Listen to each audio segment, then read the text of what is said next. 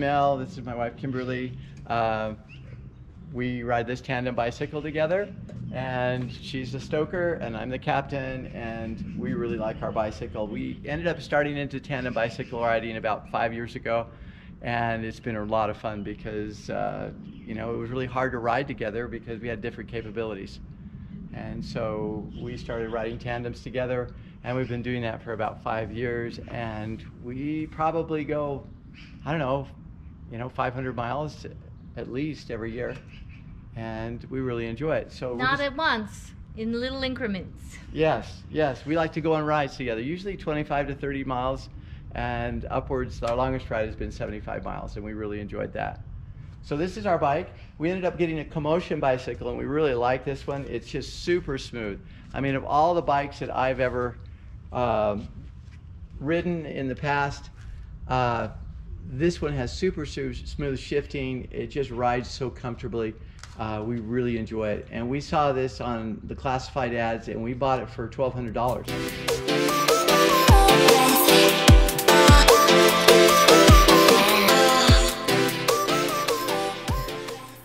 Okay, so now you had a chance to see our bicycle. Uh, we love our bicycle, but it's not perfect. Uh, one of the things that I find about it is it's an older bicycle and it doesn't have the new disc brakes and it doesn't have a super good climbing gear, which means that we're kind of limited sometimes when we hit some some of the steeper hills.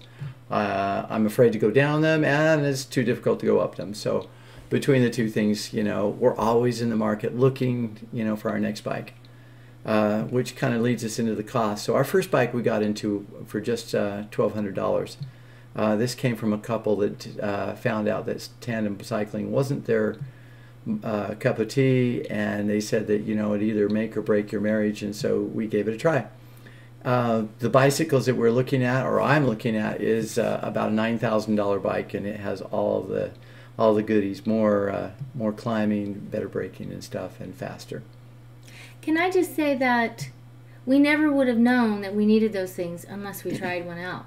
And so we're not encouraging you to go out and spend $9,000 on your tandem bike. There are bikes out there um, at classifieds, on the classifieds that uh, people are getting rid of. They've upgraded and so they have this older one or whatever. They've tried it and they don't want to do it anymore. And so we encourage you to just get one for a reasonable price and try it out because it's a lot of fun. And you might be able to go to a bike shop and, and just ask if you can't just ride the a tandem bicycle for a couple of miles and see what you think. Um, usually they they work with you. They want to help, uh, you know, further the sport anyway. Um, one of the big things that you'll find when you do tandem bicycling, it was kind of a comment that the couple made, is that you have to work together. You have to like to work together, and you have it's kind of be di- difficult at times. So there are kind of different roles that you you follow when you're on a bicycle, on a tandem bicycle. The guy in front or the guy gal is the captain, and the person in the back is called the stoker. Um, I have been riding in the front. Uh, I have a lot of experience, you know, riding bikes and stuff like that. So uh, my goal is to keep us from cat crashing, and and I Kimberly's goal is to provide us power and energy as we go along as the stoker. Uh, we've developed a series of commands that we do. Um, I found out early on when we started riding that you can't say, uh, I think we should slow down or anything like that. It just comes across wrong.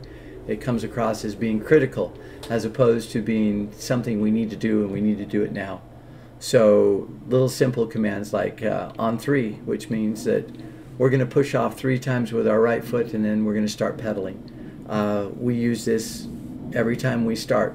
And then uh, left foot down means put your left foot down, and then I'll say right foot out, and that tells us that we're coming to a stop, so we know to put our right foot out together.